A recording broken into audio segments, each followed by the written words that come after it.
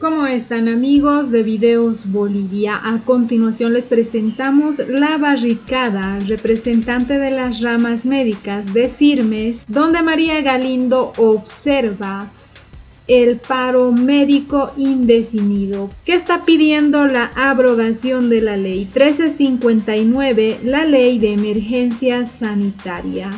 Esta es la barricada y la explicación del paro médico. Escuchemos y luego continuamos.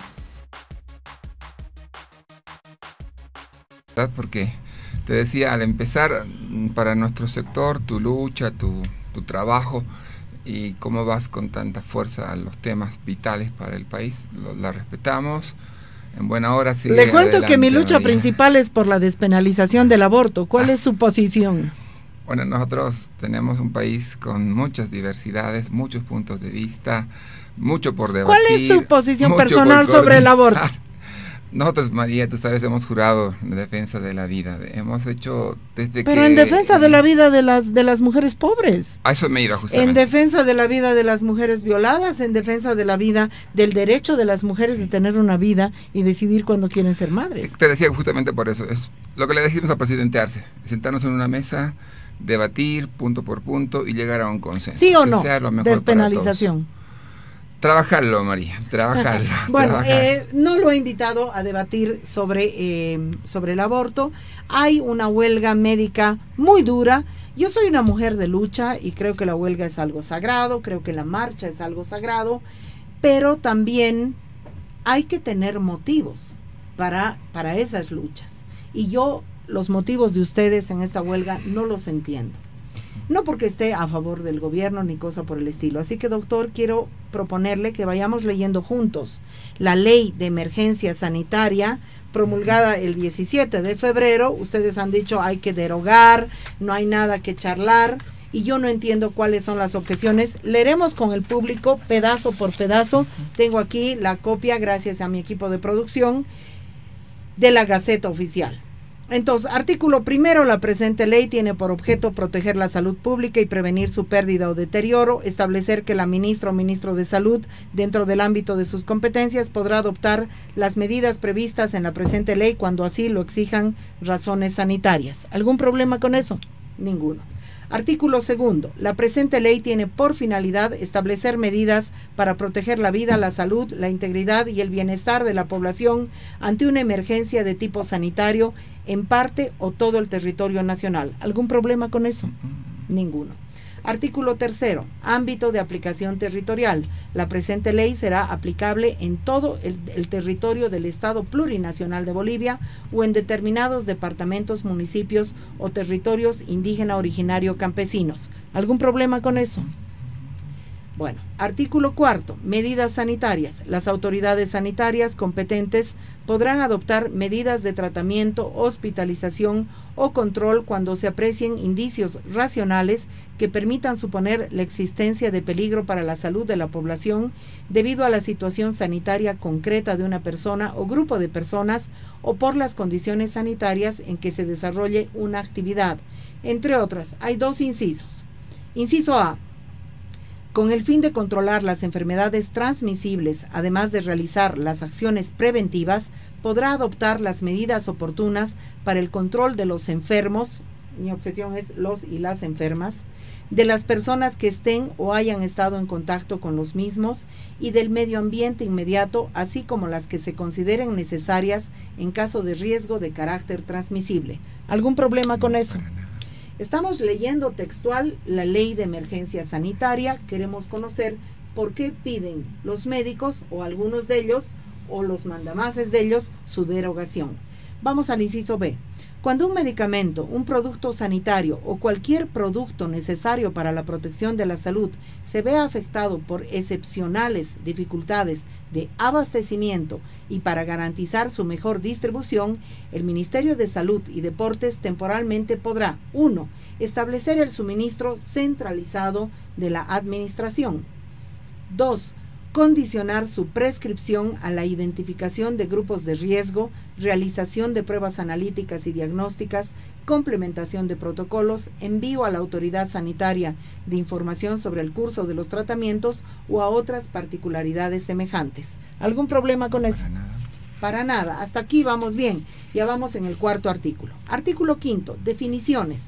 Para los fines de la presente ley se adoptan las siguientes definiciones. A. Inmunización. Es el proceso médico por el que una persona se hace resistente a una enfermedad infecciosa, por lo general mediante la administración de una vacuna.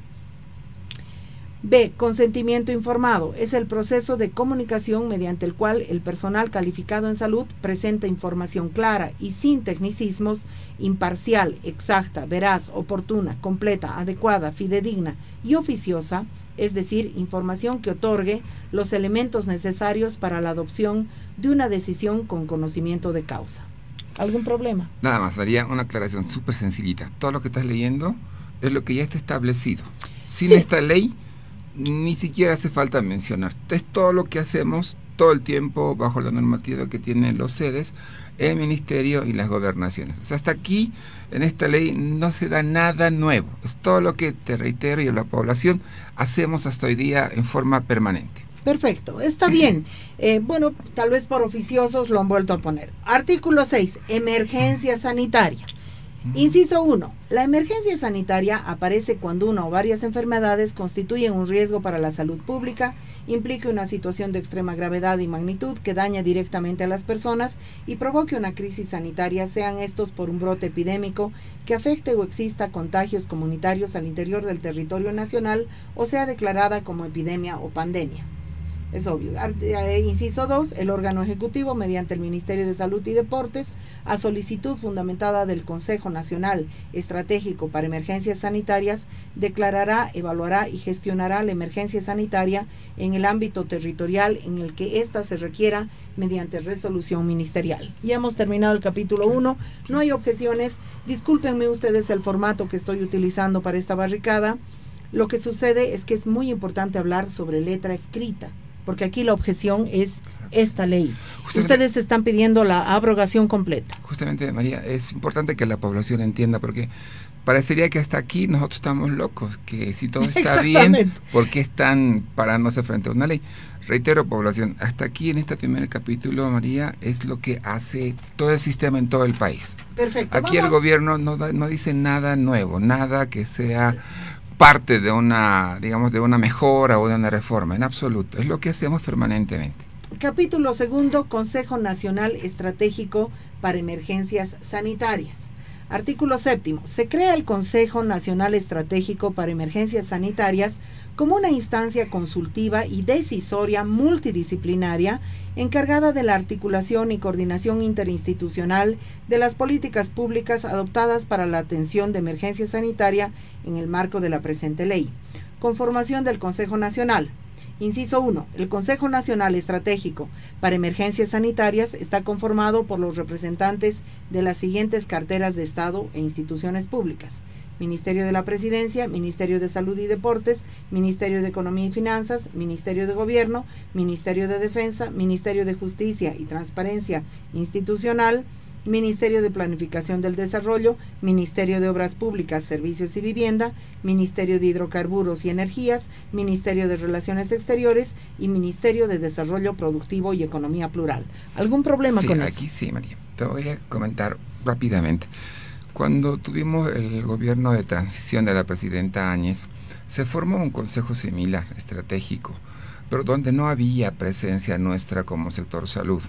¿Y cuál fue el resultado de esa gestión? Corrupción, sobreprecios, ventas y compras que hasta el día de hoy no sabemos en qué, bajo qué márgenes se han realizado.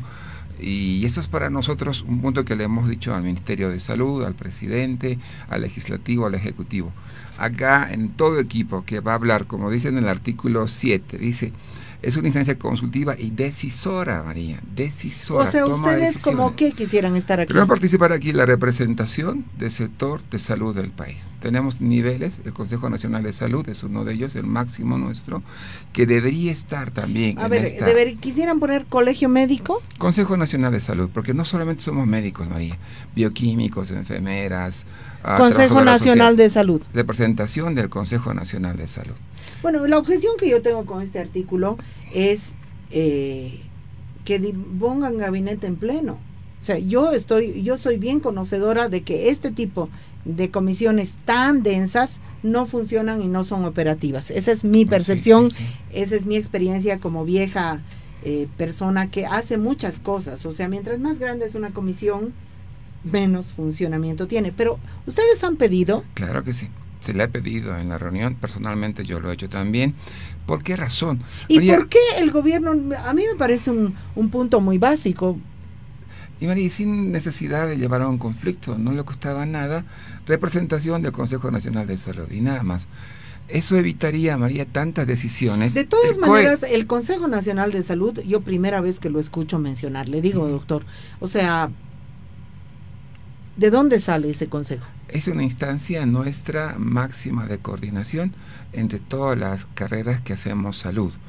CONASA se llama su abreviatura y debe, debe sonar CONASA. Todas las carreras que hacen salud de las universidades públicas del país. Todas, de todas tiene esa representación.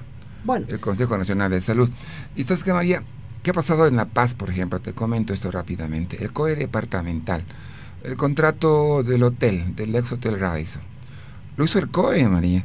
Pero en ese COE nunca fue consultada nuestra voz, jamás.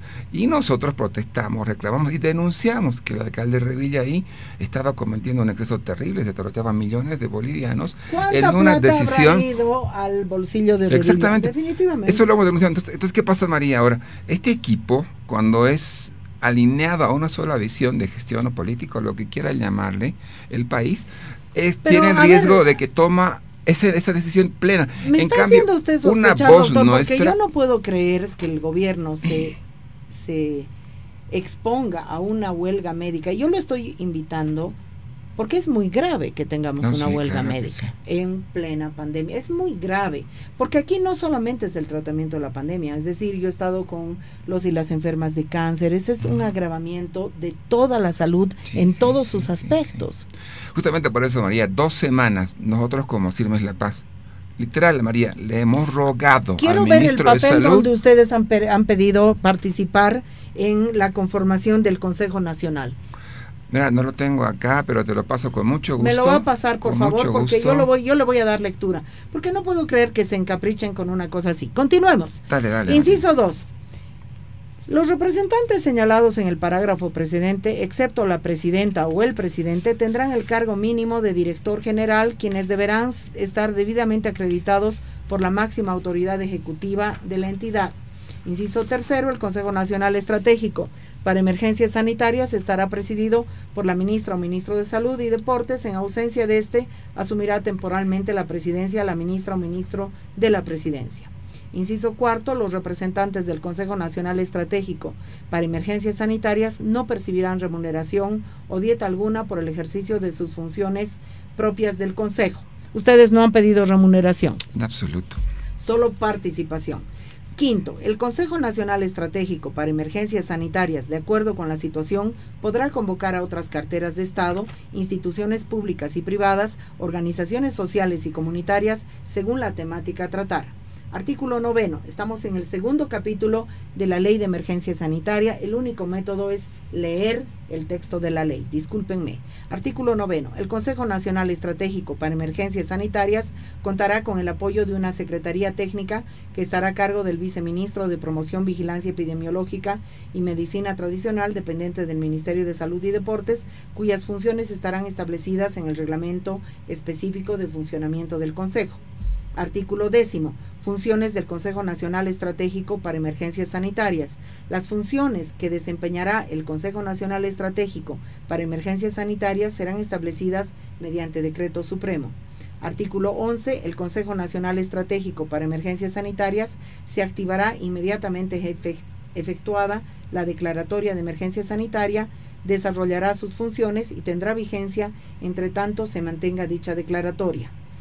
Artículo 12, vinculatoriedad. Las determinaciones del Consejo Nacional Estratégico para Emergencias Sanitarias serán adoptadas mediante resolución de cumplimiento obligatorio para las instituciones públicas, privadas, personas naturales, jurídicas, nacionales y extranjeras que se encuentren con domicilio o residencia fija o en tránsito por el territorio boliviano en el marco del objeto de la presente ley. Justamente lo mismo, María. Aquí si te das cuenta en el artículo 12 le da un poder, pero máximo de decisión, de aplicación de, normativas, de todo, sin opción a que nadie pueda observar, contradecir, cuestionar alguna decisión. Es por eso que antes de que este Consejo pueda funcionar y aplicar medidas, o tomar, determinar normativas, es fundamental que haya una voz de representación del sector de salud para que no, lleguemos a lo que estamos hoy día, a crisis. Pero mire, mire doctor, yo entiendo una cosa, ¿no? Mire, yo, yo para comenzar soy anarquista, pero en este país hay un gobierno que es el gobierno del presidente Arce,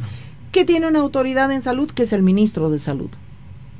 ¿Ustedes quieren un ministerio paralelo? No, no, no, para nada. Solo tener la voz, María, nada más, que es cuando debata, por ejemplo, que la pandemia se nos está yendo a un nivel 4 que diga, pues, a ver qué opina el sector salud con su equipo. No, además un nivel 4 por esto, por esto, por esto, con una fundamentación, digamos, científica, profesional, no política. Totalmente, totalmente. No queremos un manoseo político de la salud, eh, digo, ni de la salud ni de la pandemia. Eh, en eso eh, yo coincido, pero a ver. Y algo muy, muy, muy cortito, María, permíteme.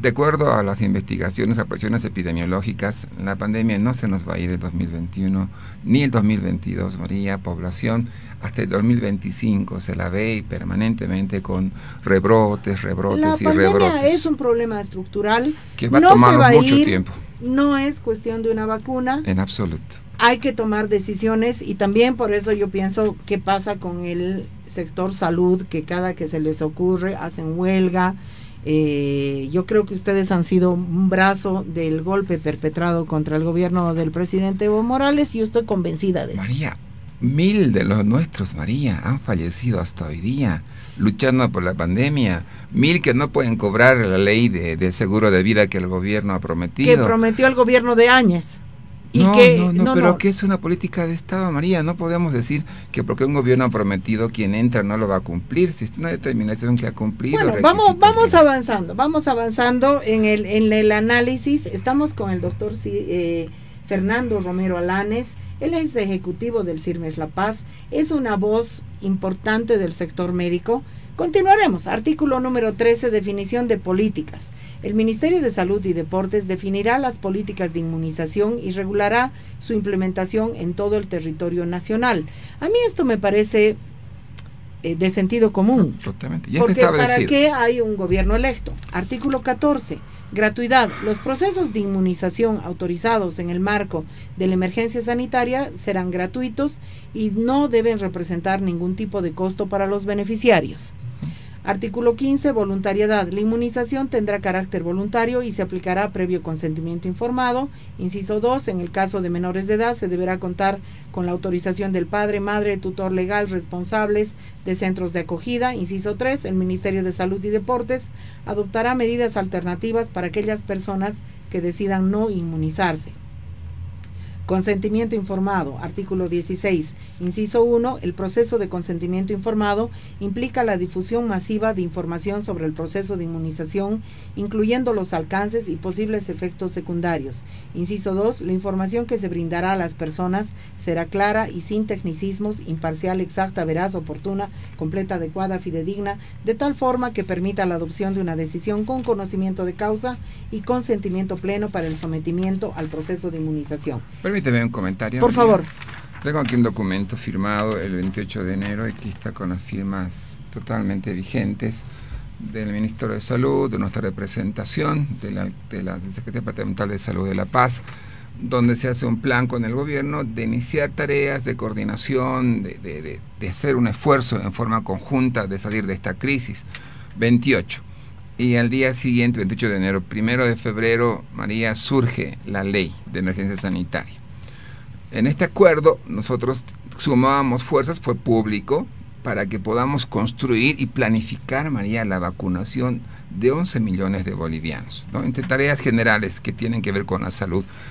Pero lamentablemente en cuanto surge el cuestionamiento de la ley, se viene una ley que no se consensúa, que no sabíamos que existía. Pero yo no sé qué encaprichamiento es este, es decir, porque esto, esto no es contrario hasta ahora a esta ley. No te explico por qué estoy tocando este punto.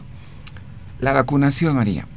Mover vacunas, 500 mil que están llegando y millones que van a llegar después para todo el país, implica una logística enorme, brigadas, transporte, cadena de frío, insumos, todo un plan de vacunación que no se lo trabaja en uno o dos días, María, es un plan enorme que ya deberíamos estar avanzando.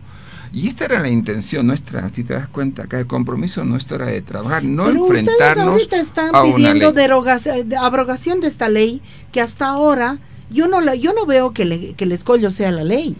No, pero María, lo que te estoy planteando, mostrando en la población que entienda es esto. En esta crisis que ha generado el gobierno, por un par de articulados, poco más tal vez dos o tres articulados, está poniendo en riesgo todo este plan de vacunación a nivel ¿por qué? A ver, yo veo, mire, va a disculpar, pero yo veo aquí una pelea de machos como cuando los ¿Ha visto usted alguna vez una pelea de gallos? Quieren matarse a como dé lugar. Picotazo, picotazo. ¿Es una pulseta de fuerzas? a costa de la población y la vida de la gente? En absoluto, María. ¿Quieren ganar sí o sí? No, no, no, no, no.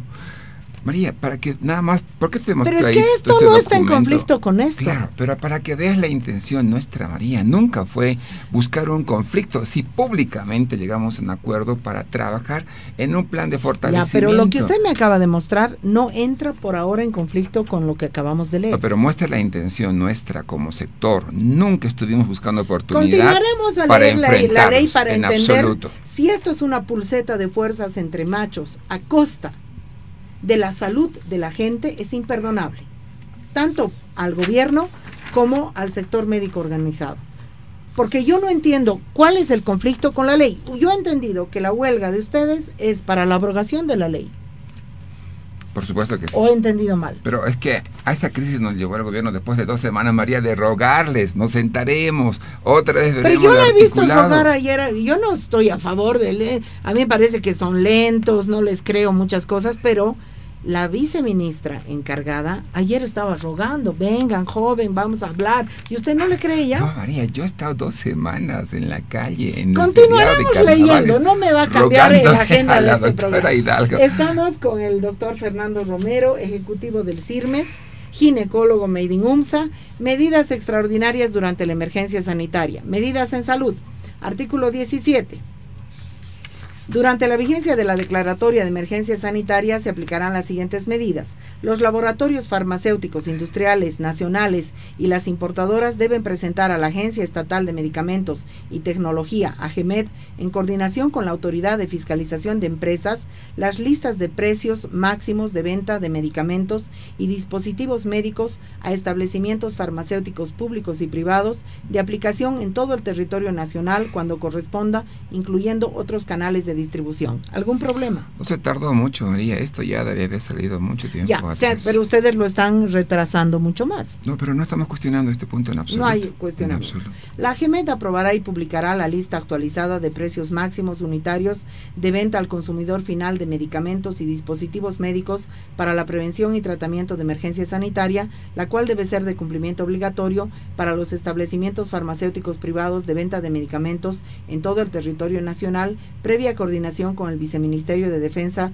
de los Derechos del Usuario y del Consumidor, dependiente del Ministerio de Salud y Transparencia Institucional, Viceministerio de Comercio eh, Interno, etcétera.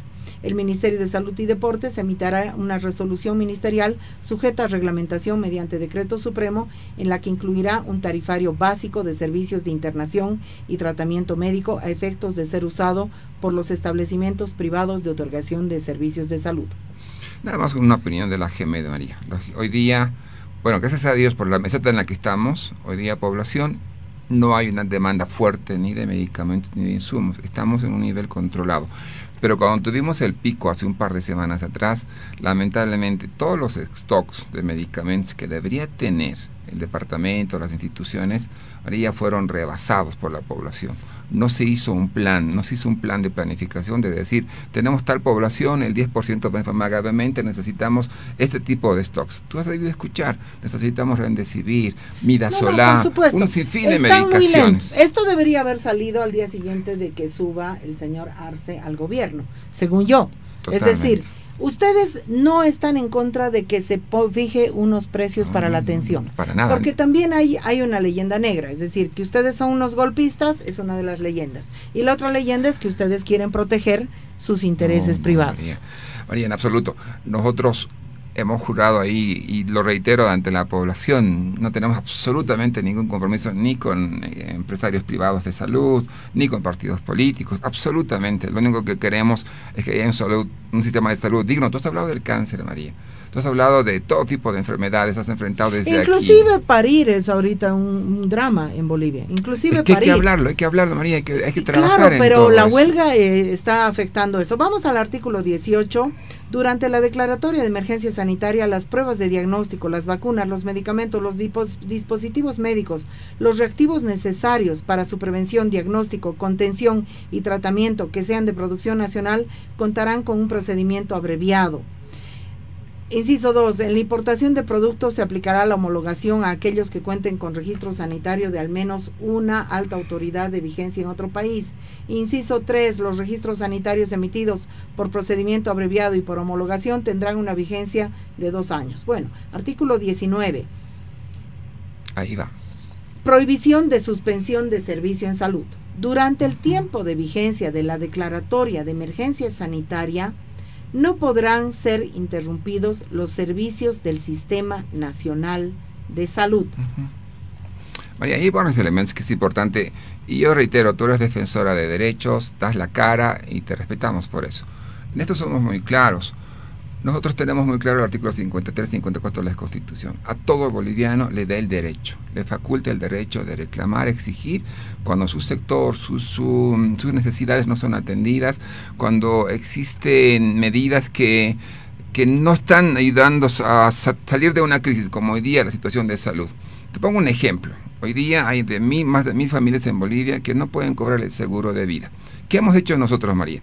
Carta, nota, pedir, por favor, medios, señoras ahí entrevistando, haciendo artículos. O sea, ni un médico, ni una enfermera eh, que ha muerto por COVID ha, cobrado, su no seguro. ha cobrado el seguro. Ni una persona, ni una, familia. En el Departamento de la Paz ni uno, que es donde yo trabajo y a quienes represento. Absolutamente ninguno. O sea, el problema es que el gobierno de Arce no ha reconocido un derecho otorgado por el gobierno de Yanine Áñez. Exactamente, pero mira, aquí nosotros le planteamos ya, aquí le dijimos, pues queremos una salida, doctor Ausa.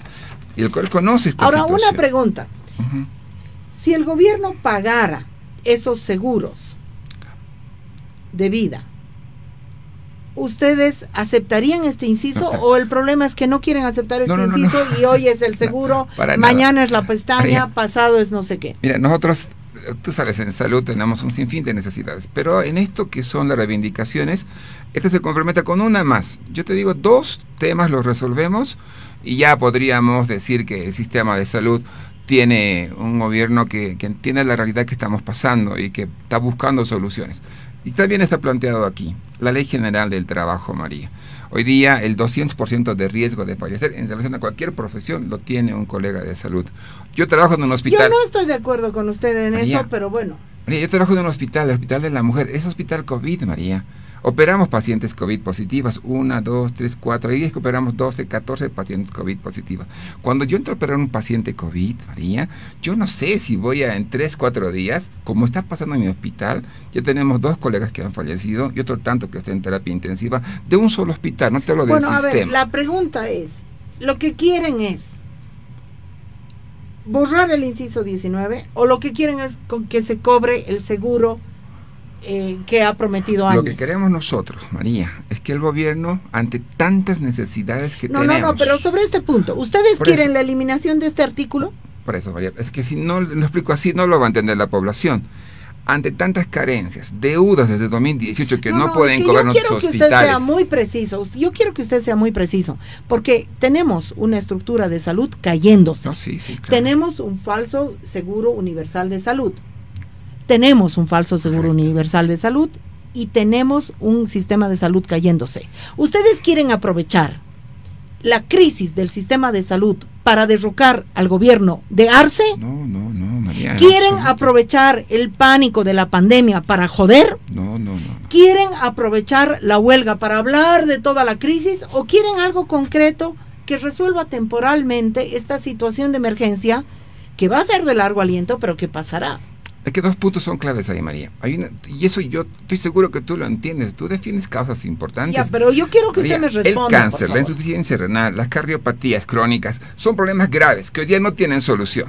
¿Qué hacen las señoras con cáncer, María? Se van, huelga de hambre y ahí tienen que Es una sentencia de muerte. Yo quiero decirle que usted no me hable de muerte cuando las huelgas médicas están sentenciando a la muerte a la gente. Es que también están sentenciados a la muerte los médicos y las médicas y las enfermeras y están sentenciando a la muerte a la gente. Claro que sí. La realidad es dura en el país. ¿Cómo resolvemos? Pero si es que no, María, es que si no tenemos... Imagínate que te corten a ti el derecho a protestar, que no puedes decir nada más en tu radio. Sacan un articulado, la señora María Galindo ya no puede más decir ni protestar y se acabó. Eh, yo le digo que me daría mis modos, porque en el gobierno de Áñez me he dedicado a joder 24 horas, 7 días a la semana. Pero, María, está haciendo lo mismo con nosotros el gobierno en este momento. Le pregunto, pero es que respóndame, este artículo 19, lo voy a volver a leer. Durante el tiempo de vigencia de la declaratoria de emergencia sanitaria no podrán ser interrumpidos los servicios del Sistema Nacional de Salud. ¿Qué quieren con este artículo? Mira, tal vez, tal vez, perdón que sea tan, tan persistente en esto.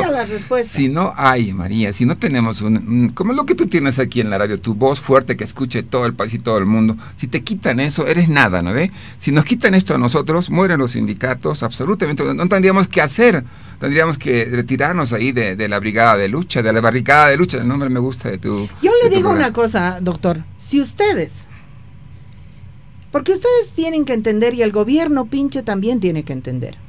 Aquí hay una población que está sirviendo de sándwich. Los médicos, las médicas, los hospitales públicos están perdiendo el respeto de la gente. Están perdiendo el amor de la gente. ¿Por qué? Porque usted dice, o sea, yo no, se puede jugar con el servicio.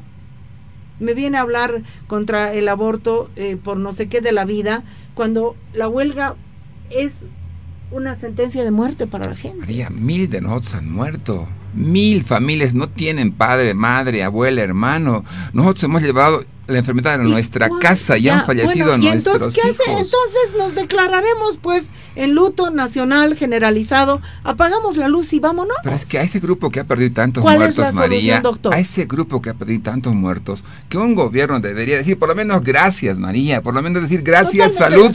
Ustedes han pagado duramente, mal, bien lo han hecho. Pero es que yo quiero entender qué quieren, porque ¿sabe qué, doctor? La población tiene que entender qué quieren. ¿Esto es un capricho? ¿Esto es una lucha? ¿Qué quieren? ¿Cuál es el punto de solución? Con todos sus antecedentes, de que hay mil demandas que el gobierno no las entiende. ¿Cuál es el punto de solución? Que este artículo en la que nos restringen el derecho a la lucha, que ni la central obrera ni los campesinos del Chapare aceptarían que le quiten el derecho a luchar, ni tú por supuesto aceptarías eso, tampoco lo aceptamos nosotros. Que se quite este artículo 19, no tenga que vulnerarnos derechos y podamos construir otra ley en forma conjunta. Esa es la visión nuestra. Si yo fuera el gobierno, borraba este artículo rápidamente, porque yo estoy harta de la lógica de fuerzas. La lógica de fuerzas está destruyendo este país y es la lógica de los machitos que se creen gallos. Continuaremos, doctor. Claro que sí. O este es el único artículo. No, no, no, Hay más. Bueno, artículo 20. Servicios médicos en establecimiento privado. Desde la vigencia de la presente ley y sin mediar reglamento alguno, no se podrá exigir depósitos previos, garantías o cualquier, cualquier tipo de cobro anticipado en los establecimientos de salud del subsector privado. no hay problema. Aislamiento sanitario, artículo 21, inciso 1 durante el tiempo de vigencia de la declaratoria de emergencia sanitaria se podrá disponer el aislamiento sanitario por un periodo de 14 días calendario contados desde el arribo al territorio nacional para toda persona que ingrese al territorio nacional por vía de transporte internacional. Inciso 2. El Ministerio de Salud y Deportes, en coordinación con las entidades territoriales autónomas, podrá disponer a solicitud de sus autoridades el aislamiento sanitario, etcétera. Artículo 22. Excepcionalidad en el ejercicio de competencia. Inciso María, permíteme hoy día la infraestructura que tiene el país, La Paz, no tiene condiciones para hacer un aislamiento. No hay condiciones, no hay lugar, no hay dónde, no hay nada, no hay una política que el país esté siguiendo en esto. Esto va a demandar mucho trabajo al país, la pero... está haciendo su aislamiento domiciliario pero en una vivienda que viven 10 personas, María, y la mamá y el papá en una cocinita común, una sala común y duermen ahí mismo, es imposible aislarse es, ahí. Es, es verdad que, bueno, estamos, está claro, el aislamiento no hay. Artículo 22, excepcionalidad en el ejercicio de competencias. Inciso 1. Mientras dure la emergencia sanitaria, el nivel central del Estado, de forma excepcional, queda facultado para ejercer las competencias en materia de salud previstas en la Constitución Política del Estado, Ley 031 de 19 de julio de 2010, Marco de Autonomías y Descentralización Andrés Ibáñez, los estatutos autonómicos y las cartas orgánicas de las entidades territoriales autónomas de manera temporal y únicamente cuando éstas se hallan rebasadas en su capacidad de respuesta. Esta avocación será de forma provisional en el marco de la misión constitucional.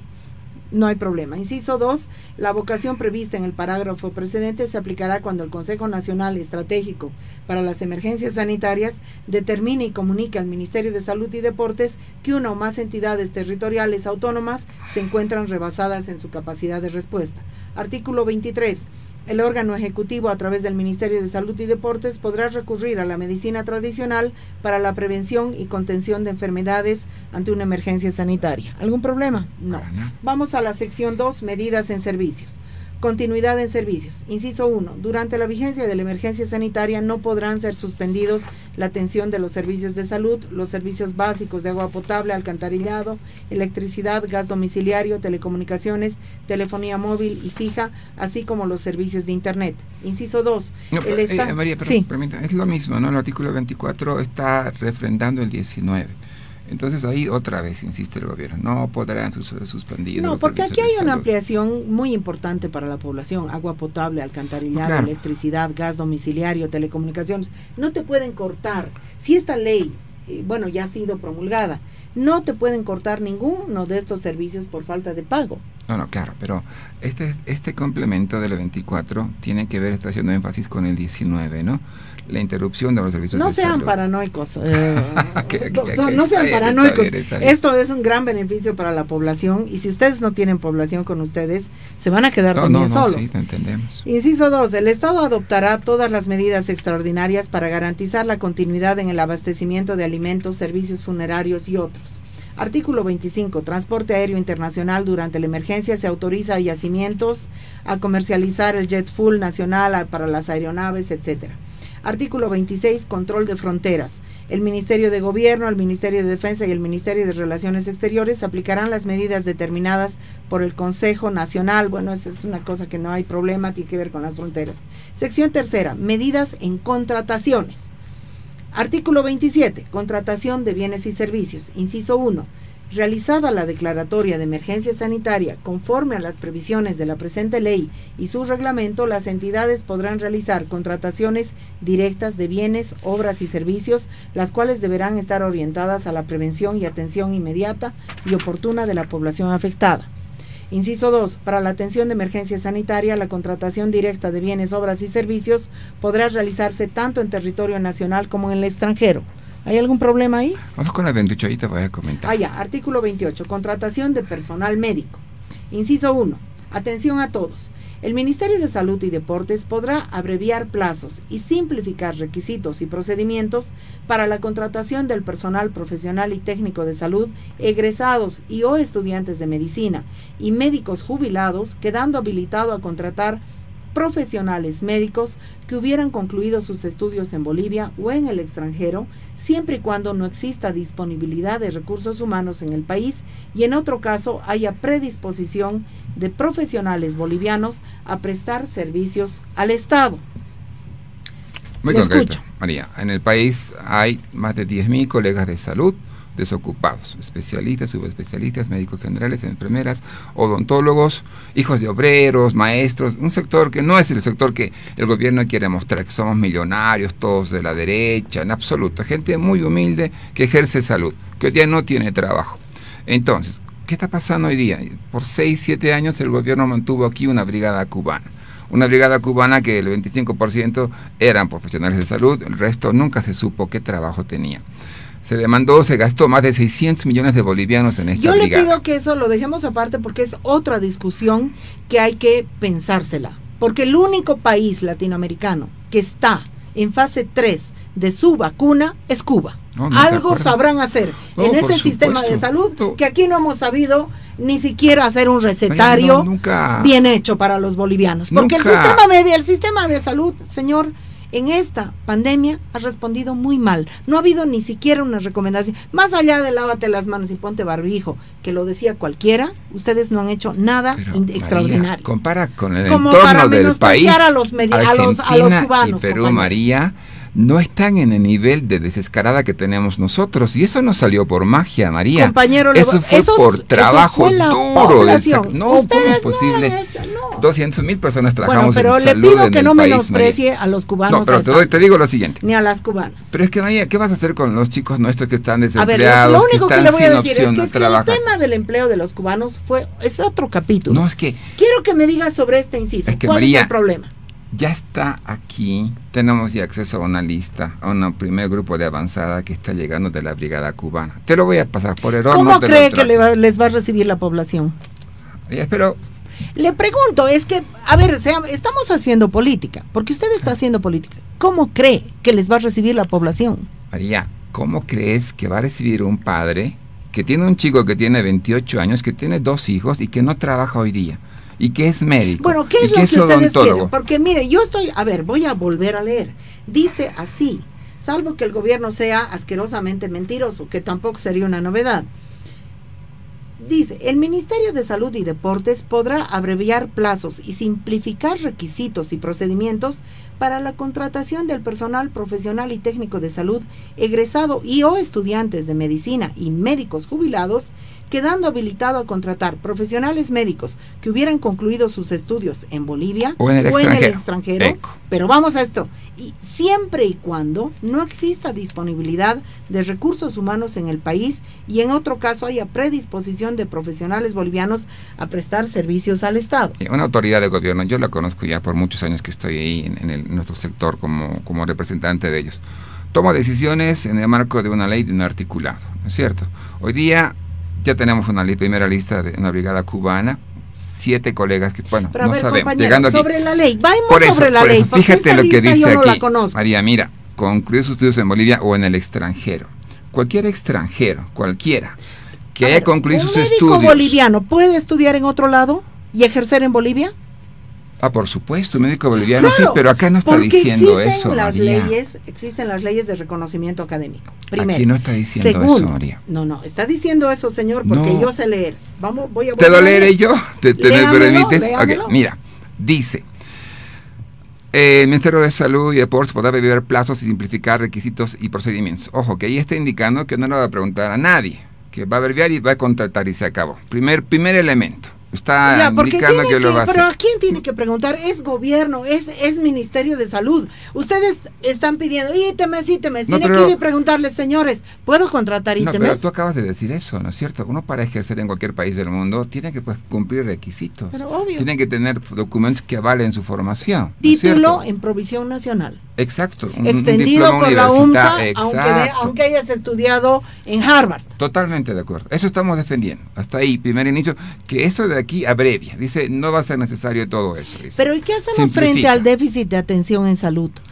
¿Cuántos médicos exporta Bolivia para que trabajen en otros países? ¿Usted tiene esa cifra? Nada más en Argentina hay 400 médicos bolivianos, María, trabajando. ¿Por qué razón? Vuelven aquí, María, y me gustaría enviártelos aquí. Busca una fuente laboral en el ministerio que diga queremos trabajar en el país y no les da espacio Ay, al gobierno. no es verdad. En el sistema mundo colonial hay un robo de mano de obra y en este momento hay un robo de personal de salud. Nuestras enfermeras y nuestros médicos aspiran a irse de Bolivia. No, no, no. Porque el ítem servicio en la Facultad de Medicina nunca te lo enseñan. Es ser médico para ganar plata. Ser médico para estar en las ciudades, ser médico no para ir a las áreas rurales, ser médico no para aprender aymara, ser médico no para atender al pobre. Hay una nueva generación hoy día, María. Hay una nueva generación con compromiso de, servicio social. ¿Por qué hay más de mil muertos, María? Eso no es pues porque estás ahí demente y queriendo morirte porque sí, ¿no ves? Pero ¿cuál es la objeción con esto? Aquí dice, cuando no haya disponibilidad, van a contratar extranjeros. Están hablando de los de los cubanos porque tampoco ningún argentino, ningún suizo, ningún alemán va a querer venir a ejercer la medicina. Me alegro que, que, lo asumas, me alegro y, y me reconozco pues, eso, ¿no? Están hablando de los cubanos, ¿no es cierto? Están hablando aquí de ellos. De, ellos sin vueltas. Porque ningún extranjero, salvo el cubano, estuviera dispuesto a venir a Bolivia. Pero es que María, no hay necesidad, María, de hacer eso. Nosotros, ¿cómo hemos enfrentado esta segunda a ver, ola? A ver, ¿Cómo estamos con el doctor en meseta? Fernando Romero en esta barricada, lo que será una mesa de negociación con este señor. O sea, digno de premio Nobel de la Paz a quien lleve adelante la mesa de negociación. No, Marita, hablamos con el corazón, así con mucho respeto a la población. Nos entenderemos. Primera cosa, dice que abren la contratación a jubilados abren la contratación a estudiantes, quieren abreviar los requisitos, están aquí diciendo que están queriendo facilitar, porque hay déficit. ¿Tenemos déficit de anestesistas? No, por supuesto que sí. Hay muchas áreas del país que, María, tienen dificultades, pero, pero, a ver. complemento. Cada generación, de hecho, justo, mira qué casualidad, este momento, más de 3.000 especialistas están acabando su formación en el país el último día de febrero, primero de marzo, se vuelven especialistas. Y esos 3.000 chicos, ¿qué debería ser lo correcto, María? Que entren automáticamente, automáticamente Pero a ver, eso podría ser muy fácil de resolver si es que ustedes no quieren usarnos a la población enferma como sándwich. El gremio médico le presenta sus listas de jóvenes profesionales desempleados y desempleadas en todas las ramas de salud al Ministerio de Salud con el compromiso de que el Ministerio les otorgue un ítem ya a todos esos. Eso sería muy fácil de resolver. Y las tienen las listas Por supuesto que sí. Se ha formado ya una agrupación de médicos desocupados, María. Ya está, ya estás haciendo sus gestiones para Cuidado que sean matasanos. no, no, no, para nada. Son chicos. María, ¿sabes? yo, mira, te digo con el corazón, estoy viendo, conociendo una generación como docente después de 25 años de, estar trabajando ahí en la universidad, muy, muy buena, muy competitiva, muy comprometida, muy social. Dicen, Doc, donde tengamos que ir, nos vamos, campo, ciudad, hay siamas, a donde tengamos que ir. Yo tengo mis dudas, por eso se creó al médico SAFSI. No, claro, claro, es un aporte. La medicina SAFSI, que bien que esté ahí, pero además de ellos, María, hay un grupo, chicos nuestros, que tienen hoy día esa visión del país. Yo creo que el trabajo tuyo, el trabajo de tanta gente que da pelea todos los días, está generando resultados. Pero entonces este inciso no debería ser un problema. No, se le echa a conocer, doctor Ausa, con el mayor respeto, no va a venir la Brigada Cubana a Bolivia mientras nuestros colegas no tengan una fuente laboral. Ahora, yo le digo una cosa, yo le digo una cosa, y se lo digo como pedagoga, lo más sano para cualquier gremio, comunicadores, filósofos, médicos, cualquier gremio, es el intercambio internacional. Es decir, cuando tú te viene alguien que viene de una escuela distinta, te enriquece. por, eso también es bueno que nuestras, nuestras guaguas salgan, hagan, eh, no sé, internados, hagan cosas, en los países les reciban, porque traen otros métodos, que no es que tienen que ser mejores que los nuestros, sino que al ser diferentes nos enriquecen. Claro, ¿o no? puede pasar por encima. O vamos a ser chauvinistas. No, puede pasar por encima de tu, de tu derecho a tener un pan de cada día, María. Está bien el intercambio científico, está muy bien el, eh, el recibir experiencias de otros países. Yo le voy a decir, yo estoy, yo creo que la Facultad de Medicina está estancada en el siglo XIX en Bolivia, con suerte Creo que la Facultad de Medicina está transmitiendo un espíritu arribista, anticientífico, y creo que la Facultad de Medicina eh, no se ha abierto a la medicina tradicional boliviana, no se ha abierto a las necesidades de salud, no se ha abierto a la investigación. Y estoy escandalizada porque yo creo que la Facultad de Medicina o todas las ramas de médicas en Bolivia, todas las ramas de salud, no han sacado un vademecum, una dieta, unas, unos protocolos para toda la población en pandemia. Lo único que les he visto hacer es huelgas. Lo que sí le han hecho, lo que sí probablemente no ha funcionado bien es la difusión, pero la Facultad de Medicina de la UMSA ha sacado protocolos desde los más básicos hasta los más avanzados. La nutrición en tiempos de pandemia, la atención de medicina crítica, tenemos en protocolos. También te lo voy a pasar para que puedas conocer. Porque ¿sabe cómo están controlando la pandemia en Cuba? Casa por casa.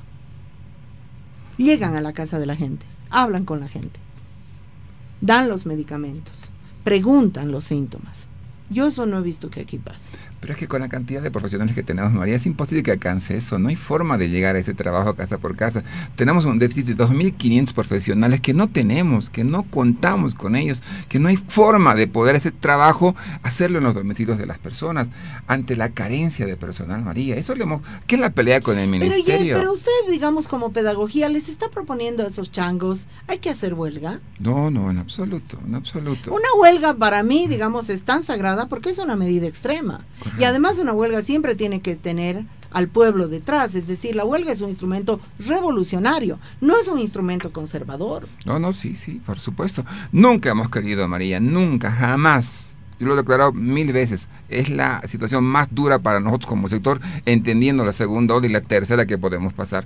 Pero también hay que enfrentar a cuando una autoridad va con excesos, te roba derechos, te arrincona contra la pared con mis muertos, enfermo ahí con ansiedad, depresión, con mil cosas, encima vienen y te roban eso. Eso duele, María, a cualquier sector le duele. Yo miro atrás y veo muchísimos colegas que ya... Yo le voy a decir una cosa, doctor, yo creo que ustedes están haciendo un discurso victimista.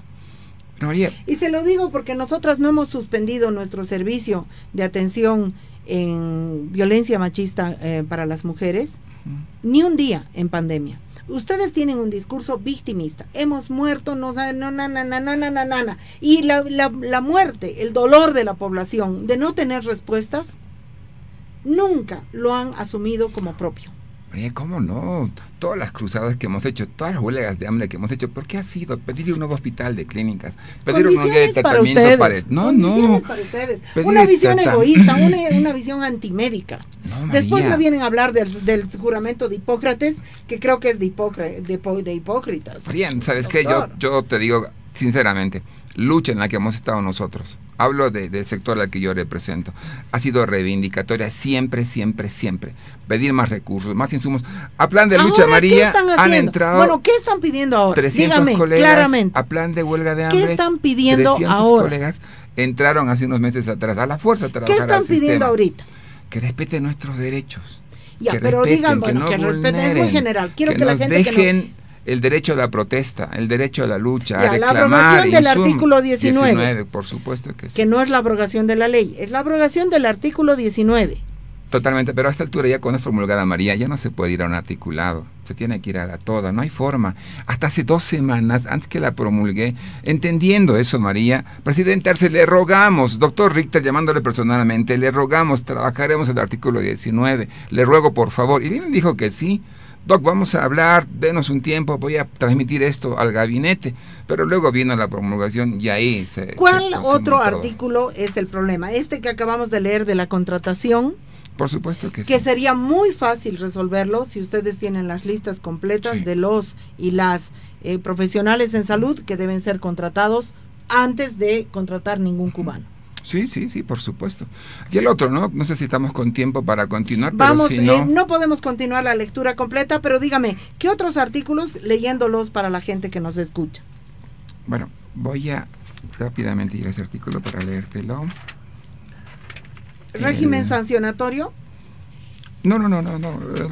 Nosotros no lo asumimos ya entendiendo que el 19 pues no lo aceptamos, no tiene por qué considerarse el sancionatorio, ¿no? Bien. te lo voy a comentar para bebiar. Hoy día, María, ¿qué le hemos cuestionado a la presidenta Áñez? La confidencialidad de todo lo que ha sido compras, de todo lo que ha sido utilizar recursos del país para medicación. Hoy día, este articulado, el artículo que está aquí, por tiempo, si me permites un par de segundos, te lo paso, lo revisamos. Sí, es, es muy importante eso, porque hay una confidencialidad, efectivamente hay una confidencialidad en la ley. Yo también estoy buscando ese artículo. eh, que es un atentado a la transparencia. Sí, totalmente. Es un atentado a la transparencia y a la propia ley SAFCO que ya existe. Exacto, aquí está, desde el 29 para adelante, 29, 30 y 31 tiene que ver con confidencialidad. Los leeremos. Sí, sí, sí. 28 y los chicos, 29, 30 y 31. Sí, correcto. Eh, para los fines establecidos en la presente ley, las entidades públicas podrán incluir en los contratos que celebren y en la documentación complementaria para la adquisición de pruebas diagnósticas, vacunas, medicamentos, insumos, reactivos, tecnología y otras cláusulas que establezcan el reconocimiento de normativa extranjera aplicable a los contratos, así como jurisdicción y competencia de tribunales arbitrales con sede en el extranjero, exclusivamente respecto de los reclamos que se pudieran producir en dicha jurisdicción con relación a dicha adquisición, además podrán adherirse a las condiciones y contratos elaborados por los proveedores. Los procesos de contratación celebrados en virtud de la presente ley deberán ser remitidos a la Contraloría General con los recaudos correspondientes, respetando las cláusulas de confidencialidad que pudieran incluirse en los mismos.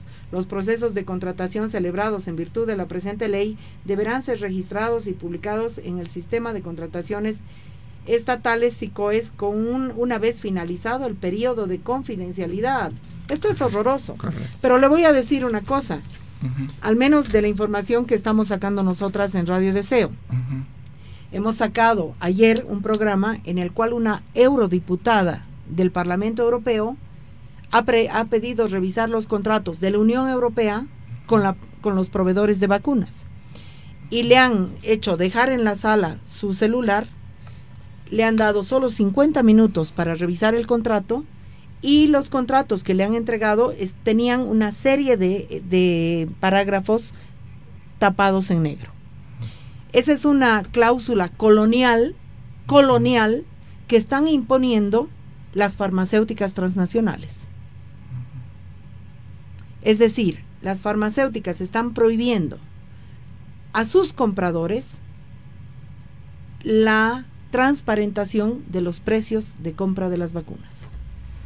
Pero todo este proceso, María, el gobierno lo está extendiendo a todo proceso de compra, no solo de vacunas, no solo de insumos que ya las transnacionales podrán estar imponiendo, también está extendiendo a compra de insumos, medicamentos, equipamiento, etcétera, etcétera. Totalmente y esa cierto. confidencialidad es peligrosa, María, no es correcto. Totalmente, no podemos permitir ninguna forma de confidencialidad porque es dinero público. Exactamente. Es el dinero de Rufo, del doctor, de la gente que nos está escuchando y está extendiendo. Debería diferenciar la confidencialidad, porque, pero dice en algún momento la confidencialidad que exigen los proveedores. Claro, pero hable, hable en general todo el proceso que va a ser la atención de la pandemia, María. ¿Qué le vamos a decir a la gente? ¿Apagamos la luz y entreguémonos a la muerte?